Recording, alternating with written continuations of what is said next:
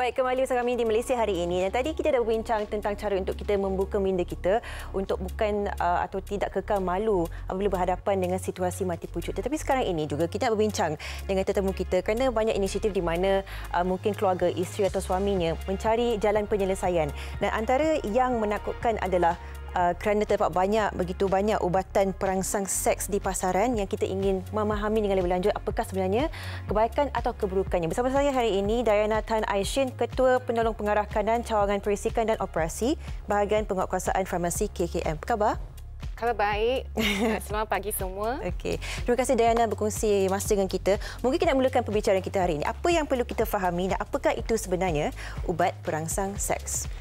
Okey, ubat perangsang seks ataupun yang biasa dikenali sebagai Viagra, pil biru hmm. adalah digunakan untuk meningkatkan keupayaan seksual lelaki yang mengalami masalah mati pucuk yeah. ataupun kegagalan fungsi ereksi, erectile dysfunction ED. Okey. Baik, um, dan bagaimana sebenarnya kita nak fahamkan juga uh, yang ubat perangsang seks ini disalahgunakan? Bagaimana caranya? Okey. Um, Okey, ubat perangsang seks hanya sesuai diambil oleh individu hmm. yang mengalami masalah ED atas nasihat Dr. Bertaulia dan dia hanya boleh didapati di premis-premis farmasi community berlesen dengan preskripsi yang sah. Okey. Okey, namun demikian, um, okey, sekarang kami boleh jumpa di pasaran di mana banyak penjualan online-online ubat-ubat perangsang seks dalam makanan yang dicemar palsu hmm. seperti Candy B. Okey. Ha.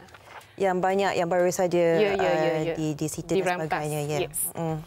Okay. So uh, peniaga-peniaga ini sengaja uh, memasarkan um, produk ini dalam bentuk makanan atau uh, minuman seperti gula-gula atau kopi uh-huh. sengaja untuk mengelak daripada pendaftaran dengan uh, Kem- uh, Kementerian Kesihatan Malaysia. Okay. Sebab untuk produk farmaseutika um, dia perlu didaftarkan dengan pihak berkuasa kawalan dadah di Kementerian. Kesihatan Malaysia. So untuk memas- dengan memasarkan dalam bentuk makanan atau minuman, mereka tidak perlu berdaftar dengan Kementerian Kesihatan Malaysia uh-huh. dan uh, orang awam akan mengingat bahawa benda-benda itu adalah makanan. Baik. Dan um, mereka ingat itulah 100% semula jadi, uh-huh. uh, tak ada bahan kimia and then boleh minum uh, sesuka hati sebab benda itu makanan sebab sebenarnya makanan itu telah dicemar palsu dengan bahan kimia ubat terangsang seks. Adakah ini boleh dikatakan bahawa yang ubat sebenar untuk merawat uh, ataupun membantu mereka mendapatkan fungsi seksual itu kembali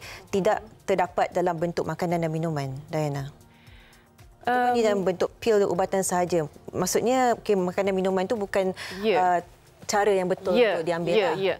okay. Sebenarnya uh, ubat hanya ubat perangsang seks um, iaitu Viagra ada yang mengandungi bahan kimia sildenafil, uh-huh, uh-huh. Cialis, Tadalafil ataupun Vardenafil. Okay. Hanya tiga jenis jenama ubat ini didaftarkan di Malaysia. Uh-huh. Dan untuk mendapatkan ubat-ubat ini, hanya doktor yang bertauliah boleh memberikan preskripsi. Memberi preskripsi. Okey. Baik, kita nak faham di sini. Uh, kita risau tentang bahana menggunakan ubat ini tapi apa sebenarnya kesan sampingan sekiranya mungkin dos ini tak betul ataupun ubatannya yang salah atau ubatan yang tak didaftar dengan KKM apakah sebenarnya yang boleh kita lihat dari segi simptom yang uh, tak sepatutnya ada pada seorang lelaki Diana Okey, sebab untuk ubat doktor hanya boleh dimakan uh, sekali sehari. Uh-huh. Tapi untuk makanan dan minuman, um, kita tak pasti sebab makanan minuman yang dicemar palsu dengan uh, ubat perangsang seks ni, uh-huh. dia tak declare dalam makanan dia. So those two uh, bermacam-macam level dan kemungkinan tinggi kemungkinan rendah kita okay. tak tahu apa dos sebenarnya dalam makanan atau minuman tersebut. So bila orang tu ingat uh, makanan gula-gula itu ialah makanan atau kopi itu makanan minuman, dia akan minum banyak Terlalu kali banyak. Okay. dan akan melebihi dos. Dan bila melebihi dos, dia akan mengalami masalah tekanan darah rendah. Ada masa ada uh, kemungkinan ada uh, pitam, um, pening kepala ataupun uh, masalah, masalah penglihatan. Okey. Tapi akibat dos berlebihan. Fungsi seksualnya diperbaiki tetapi masalah lain seperti penglihatan dan sebagainya. Itu yang dikatakan ke Diana? Uh, dos um, fungsi fungsi um, untuk ereksi dia kemungkinan uh, tidak berbagi, berbagi juga sebab okay. yang yang makanan yang dicampur palsu tu dia sebenarnya bukan uh, diuji uh-huh. diuji secara klinikal. Tak ada R&D lah dia, kiranya. Dia ialah analog. Uh-huh. Analog ialah um, ubat yang diubah struktur kimia dia. Hmm. So yang analog-analog bahan kimia ni yang dicemar palsu dalam um, makanan atau minuman ni dia tidak um, dijalani ujian klinikal dan kebanyakan mungkin membahaya kesihatan okay. kita.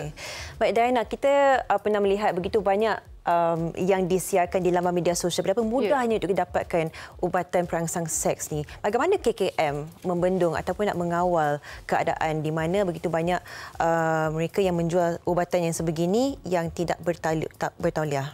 Okey, bahagian penguatkuasaan farmasi uh, Kementerian Kesihatan Malaysia selalu komited untuk saring laman sesawang internet termasuk blogspot, media sosial, okay. Facebook, Instagram dan Twitter.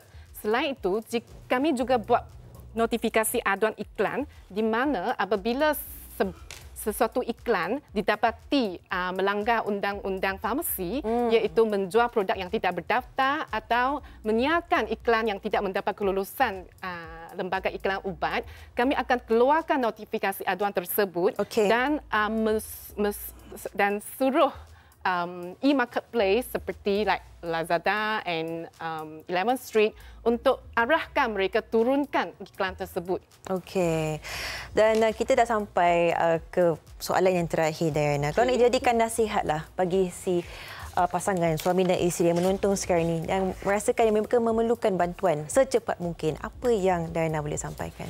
Okey, apabila ingin uh, mengambil sesuatu produk ubat ya. uh, di atas talian, uh-huh. so tuan-tuan dan puan-puan mesti menyemak uh, pendaftaran ubat tersebut. Baik. Okey. So, um, tuan-tuan dan puan-puan boleh melayari www.mpra.moh.gov.my untuk menyemak status pendaftaran produk tersebut. Setiap produk yang dipasarkan uh, di Malaysia mesti ada nombor MAL dan uh, ada hologram tulen. Okay. Hmm. Sekiranya tidak pasti uh, status pendaftaran tersebut, tuan-tuan dan puan-puan boleh uh, menghubungi bahagian kami um, bahagian regulatory pharmacy yeah. pada 0378835400. Mm-hmm. Okay. Baik. Terima kasih kita ucapkan kepada Cik Diana Tan Aishin, Ketua Penolong Pengarah Kanan Cawangan Perisikan dan Operasi Bahagian Penguatkuasaan Farmasi KKM.